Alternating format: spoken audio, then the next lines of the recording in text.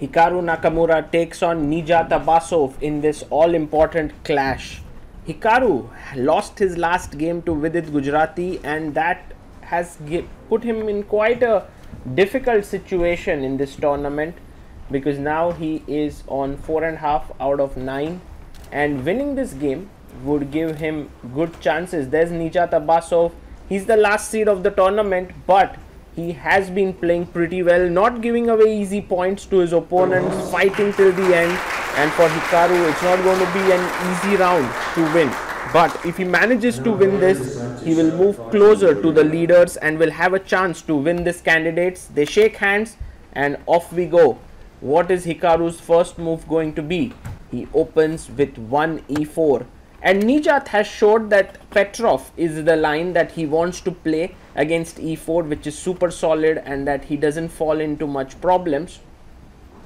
So knight comes out to f3 and will he play knight f6? Yes he does. It's the Petrov on the board and this is going to be an interesting one. What is Hikaru's choice going to be? He played an extremely theoretical line against Jan Nepomniachtchi uh, and that one was that one ended in a draw after a massive fight. Let's see uh, what happens here. He brings back his knight to f3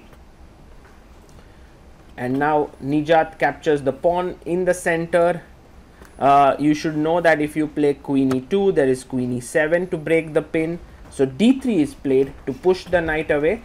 And now the knight comes back to f6 and Hikaru pushes his pawn in the center and I believe Nijat will also do the same. So we have uh, an exchange French here, which is interesting. I mean, uh, it's very, very equalish, you can say even a bit dull or dry.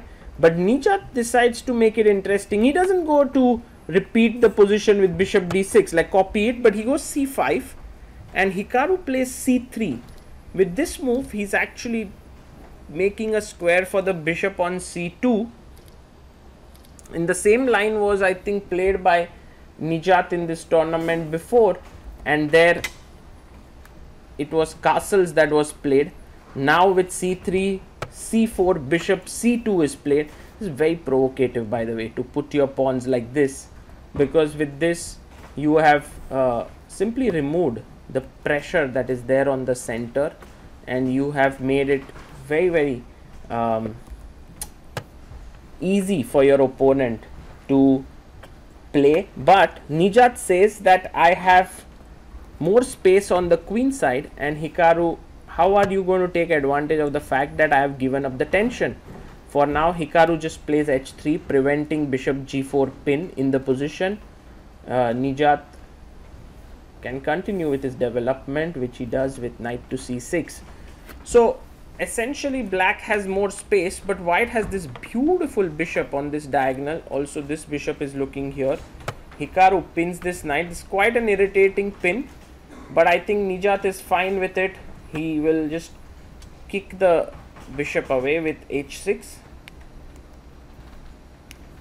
and I think uh, he's just thinking about his moves here. Uh, the yes he plays h6 now of course, if you take here queen f6, black has absolutely no problems out of the opening. So to maintain the pin is important with bishop h4 and Hikaru is going to do that. At some point, white can even strike with b3 and that can be an important move. And also this bishop for Nijat, where do you develop it? Do you put it on e6? Do you put it this is there's not possibility of putting it on f5 b5 is played and this is not a great move. Because now i think there were better moves here like rook e8 maybe g5 possible. But after b5 played hikaru plays this very nice move rook e1 he's now controlling the e5 square and he wants to put his knight on e5 and that will create more pressure on black's position. So for nijat now how does he continue the play? Maybe he just continues with a5 and b4. That could be his idea here. He plays a5. That's a good move. He wants to play b4 in the position, creating play on the queen side. And for Hikaru, the there, there are two ways. One is to develop the knight on d2 the other is to play, put your knight on e5 uh, and knight e5 does look like a very very interesting move to to continue the game with Hikaru is just thinking about his move here uh, and the the thing is after knight e5 yes he plays it. It's not so simple to to touch this piece because if you take that's just you lose a piece. Uh, you can play bishop b7 here but then there is knight g4 which creates a massive massive threat here. So that's the reason why Nijat goes rook a6 and with this he if you go knight g4 he will take this with the bishop now Hikaru finishes his development. He puts his knight on d2 the knight can come to f3 in future. So white is creating some some big threats here. Uh, I mean not big threats but just putting the pressure. You know if the queen comes on f3 it will put pressure on f6 as well as d5 pawn. So Nijat goes bishop c7 a very very key move because he wants to put his queen on d6 that's what I feel breaking the pin. And now ooh, queen comes out to f3 so pressure here. Pressure on d5 and how does black continue now? Well I really like Nijat's move 97 because uh, here if you take the rook swings over. This rook defends on f6 that's so tricky Hikaru goes b3 and fantastic chess by both players. With b3 he's opening up the b file here. It's a non-standard position so there's a lot to think about. A4 played by Nijat. And I think the reason why a4 is played so that Hikaru himself can't play a4 and break down the queen side. So a4 by black. And now I think Hikaru will take on a4 or c4 and then capture the b file for his other rook which is on a1 I think for a player like Hikaru uh, who's facing the Petrov with the white pieces this definitely seems like a great position that he's got. Because generally uh, he wants a fight against Nijat. You know he doesn't want to play something theoretical which Nijat is well prepared. And this has happened. His opponent is down to 1 hour 22 minutes. It's a fresh position and that's the best that Hikaru can ask for from any opening that he would play. And now he goes knight f1 and this knight is actually a very very powerful piece. It can come to e3 putting more pressure on d5 f5 g3 it can also go this way. So very strong knight. a3 played here by Nijat. And now maybe just rook b1 taking control of the b file. That's exactly what Hikaru does. He puts his rook on the open file. And Nijat now plays a move holds the rook for a long time in his hand but switches over to the e6 square.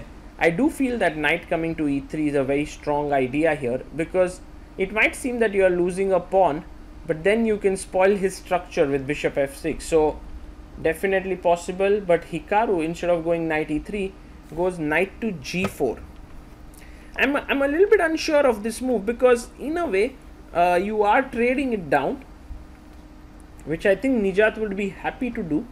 Knight takes g4 okay it's also possible to put your knight on e4 perhaps but uh, that might be a little complicated. He takes on g4 and he tells Hikaru how are you recapturing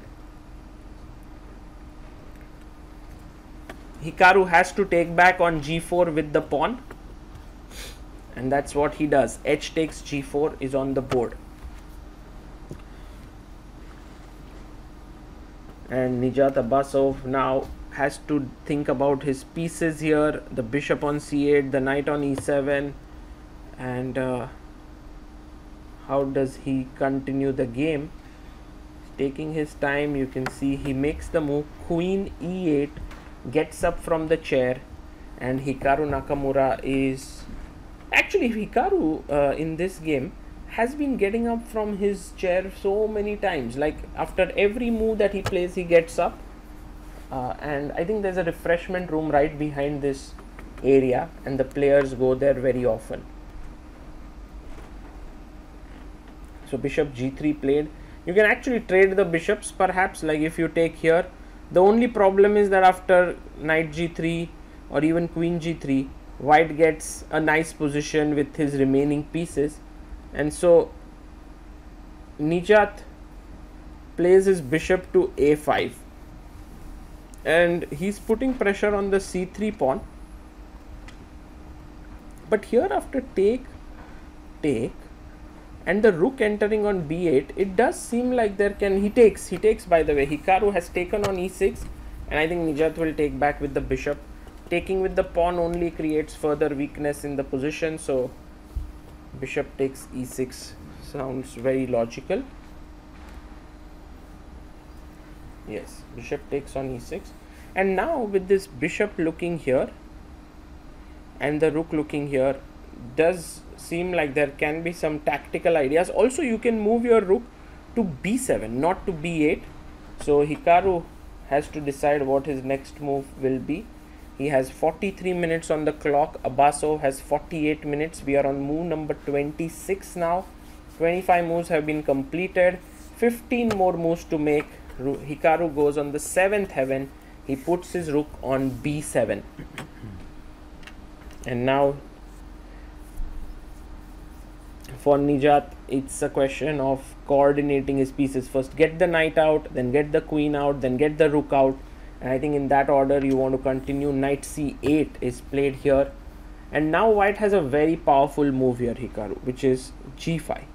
And after you take, I go queen h5 and just threatening a mate here if you play g6 I'll take it if you play f5 I can take and go bishop e5 this is very powerful. So actually for Hikaru g5 is very strong and he should be able to find it but instead he plays bishop f4 I think the lack of time with just 19 minutes left is playing on Hikaru's mind because you know 13 moves to make in 19 minutes without any increment it's very stressful.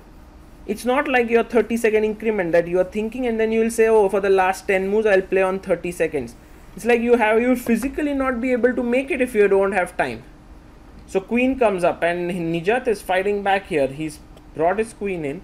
He's attacking hikaru's rook. The rook has to decide where to go. And nijat has 37 minutes. So clearly the pressure is getting to hikaru. He goes rook b8 where his position was very good uh, but now it's no longer that great. Plus he's low on time. Let's see how Nijat plays. He first plays his knight to e7 offering a trade of rooks. And I think for Hikaru with every trade he would definitely worry that the game would end in a draw. Like if this game he ends in a draw and doesn't win his chances of winning the candidates become very less. He needs to win this game. So rook goes back to b1 i'm very interested to see how nijat continues. Now there are a few options he has. One is to put his knight on g6 but i think his move is fantastic. Queen d7 attacking the pawn on g4 i guess knight can defend it but that's a little passive. And hikaru can even push the pawn. I think that's what that's what he wants to do. Push the pawn to g5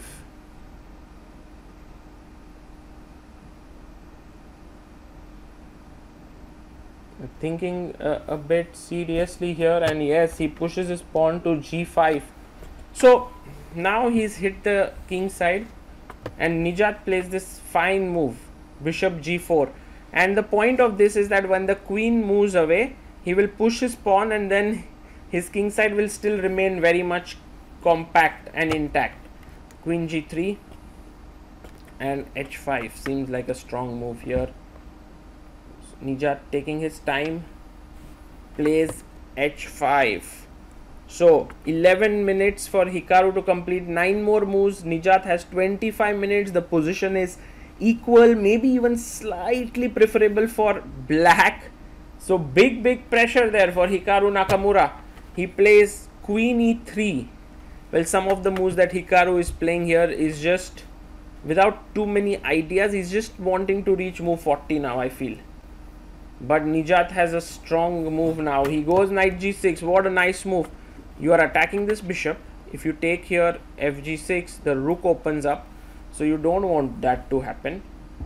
And Hikaru now waiting to move the bishop away. He plays it to h2 but think about it now rook can come to e8 hit the queen and this queen has a very important role to play which is to defend the pawn on c3 hikaru instantly plays his queen back to d2 34 moves completed. 7 minutes left. Hikaru now not getting up from his chair because every second has its worth in gold here. And rook swings in. Rook e2 black's position is becoming better and better. Hikaru quickly gives a check moves to move number 35 has 7 minutes 24 seconds in hand king at 7 queen c1 played setting up a small trap. If you take here bishop g6 check and you lose the bishop.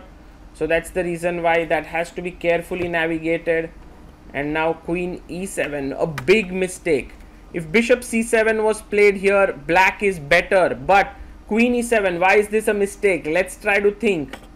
Has Nijat found something? Has he, Will Hikaru find with just 7 minutes left? I think he's rightly investing his time here. He has to make 4 more moves. Bishop e5, what a beautiful move. And the point is very simple. You go knight e3 next, oh sorry, knight g3 and trap this rook and win it that's the entire point of it and this bishop cannot be taken because the knight is pinned unbelievable turnaround here for Hikaru. You can see him very confidently sitting there queen e6 but now just knight there's also knight g3 knight e3 by the way to block this completely. Instead he goes knight g3 which is also a fine move. Nijat Abasov with one careless move, just allowing the bishop to settle down here and trap the rook there has lost material and Hikaru was so sharp and quick to find it. It didn't take him even more than a few seconds to play it. But still the game goes on. He got a bishop and pawn for the rook. Abasov c3 pawn is weak. Let's see how Hikaru converts this. He's on move 39 final move before time control is played rook b5 and now with 30 minutes added on the clock it is very clear that Hikaru has everything under control. I mean the game is still not completely winning but it is in Hikaru's favor. Bishop takes c3 pawn is taken. And now he's taking his time which is such a good feeling that you have 30 more minutes now. But also many times mistakes do occur on move 41 because you tend to relax a bit during this period so queen e3 is played. To trade the queens so Hikaru gets up from the chair.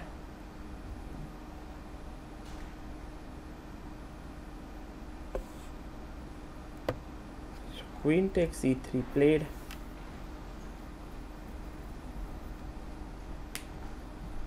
And now f takes e3 it's actually useful to uh, sort of break this structure up because now this pawn is no longer like a two passers it's only one. Pawn tries to stop it a bit. So d4 played here.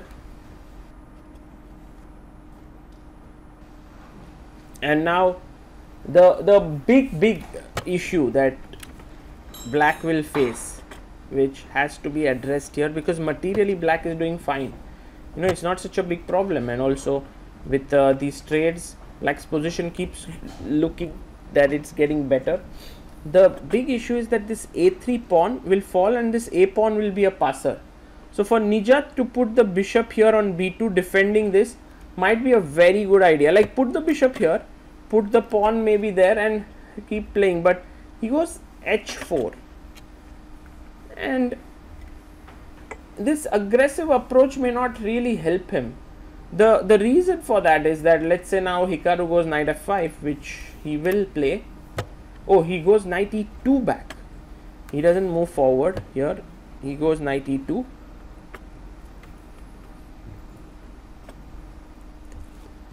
the bishop is attacked by the knight and it goes to e3 attacking g5 pawn perhaps rook a5 played and this is where Nijat has to remain careful because he's losing the most important pawn in the position. The reason why that pawn is so important is because once it's taken the a pawn will just be a passer and Hikaru just snatches it and I think this is where Nijat uh, is is lost now. He's going to be in big trouble. Rook takes a3. Yes, he gets this pawn, but when you are playing uh, exchange down position, like if you if you are the side with the rook, your only thing that you are trying for is to create passers. That is exactly what you want. Hikaru, by the way, looking at the ceiling, calculating rook check comes in and now it's pretty straightforward here after the king moves the a pawn just rolls down the board there's not even anything that black can do it's like such a one-sided position. He plays knight f8 to block and Hikaru pushes the pawn to a4 so after a very very staunch defense throughout the game and in fact some great play even to rest over the initiative. Nijat Abasov has finally collapsed here. And you can see him making his move with his left hand. That's also some kind of a sign that you know I, I no longer believe in my position. And now I think just push the pawn even further. But Hikaru goes knight d4 I think Hikaru is doing it even in uh, bigger style. He maybe wants to take this check and then pick up this bishop. Nijat pushes h3 you take it because you don't want this h2 business for the pawn to become a queen. King takes. Sorry bishop takes. King e king f2 another check. And the king continues to move up. Yes king f3 and now if there's another check then king f4 king can go up. Like two bishops cannot checkmate this king. And if the knight was playing it would have been nice but it's pinned here. That's the problem. So king oh he goes king g2 i i guess king f4 was not a bad idea just to move forward. But king g2 is safe. There is no more there are no more checks. F4 check uh, f4 pushed forward. And it's a nice move because it stops 96 the bishop controls it also. You might have ideas of f3 but bishop f5 played f3 check. Well actually taking this is not so silly right? Because after take here take but then the problem is check and you lose the rook. Ooh that's really bad. So have to be careful. He goes king f1 bishop takes bishop knight takes and after bishop g5 well yes this pawn can move forward but my knight can come and stop it instantly and after a5 played so the king stops f pawn knight will stop c pawn. The a pawn is going down the board. Nijat Abasov extends his hand in resignation. Hikaru Nakamura gets the job done. And you can see he is quite exhausted there. He knows he this game will prove to be a critical one in his uh, journey to winning the candidates. And that is actually a big big thing. Look at Nijat Abasov he's so upset there. He actually fought so hard. And that's why chess is so brutal. Because you know you can play like majority of the game well but then one mistake and you lose. And this is actually soul crushing for Nijat as he's not won a single game and he has had a series of draws. But a fighter that he is and also Hikaru is now at five and half just half a point behind Gukesh and Nepo who are the leaders the candidates 2024 continues to get more and more exciting